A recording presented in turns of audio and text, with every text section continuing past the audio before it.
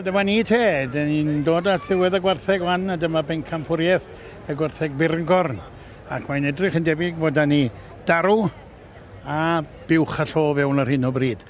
Pryn o'r rhain fydd y pencampwr, mi gawn ni weld. Mae rhai gweud am y buwch, mae dim agu llo da. Ac eto, mae yna darw da hefyd yn ei herbyn ni. Tarw'n symud y dda, tarw ifanc, swn i'n deud. Ond welwch y llo siot orma war y teg. Edrych yn dda, fiwch fawr drom. Slaff o fiwch a deud y gwir. Ond ni di fyny i'r beirniad o Thyrsk. Dech chi'n cofio'r gyfres deledu boblogedd All Creatures Great and Small, wel mae'r beirniad yn dod o Thyrsk yn dod o pentre ar ardal lle o'n nhw'n ffilmio er, gyfres diddorol honno a poblogedd hefyd. A ni'n siarad â fi ynghynt, Ian Park di enw o Thyrsk, Swydd Efrog, ond ni'n siarad â fi ynghynt. ac oedd e'n dweud bod yn um, meddwl y byd o'i fiches siot horn gytre bod nhw'n byw ar chydig ac bod i bocedau e yn well i fwrdd bod yn cadw gortheg so torn. Dyna i ateb e. A ni gofnus iddo fe pam oedd e yn cadw'r bychod birgor yma. Pyn o frisget i weld ar ben blaen y fiwch na, falle. Wedi...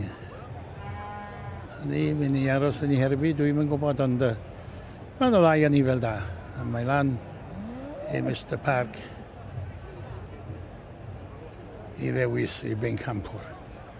Ac mae'n mynd yn dawel iawn yma ar fy nawn di llun. Mae wedi bod yn ddwrnod eithriadol o wych yn y cystadlu brwg frydedd, yn y cystadlu a phobl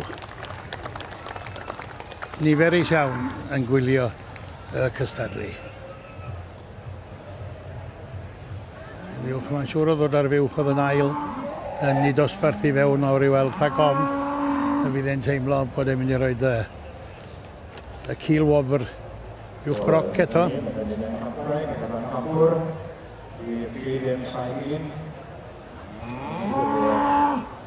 A mae hi esist. Llwyn Howell, Llanilar sy'n dod i fewn wan. A'r hether oedd dod ar gyfel y cil wobr. Mae hon yn heffer dda, chwer y teg. Da iawn, dim am i fod i yn heffer drws nesaf, ond mae'n heffer dda ac mae'n ddechrau gwych iddyn nhw arfridio a gwartheg bergor yma.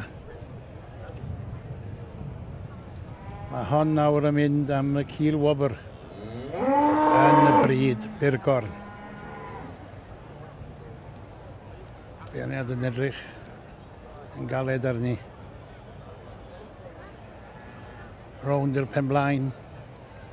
Ni mae cymeriad yr heffer, mae'r heffer yn dangos yn dda nawr o'r y teg i, i eseill.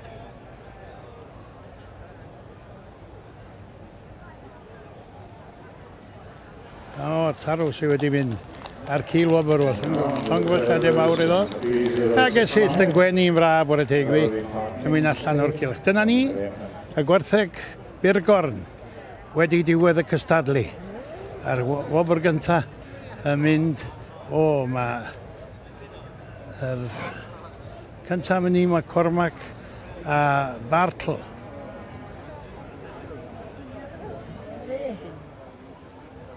Na ni, dyna'r canlyniadau, ardderchog. Nam M. Cormac oedd.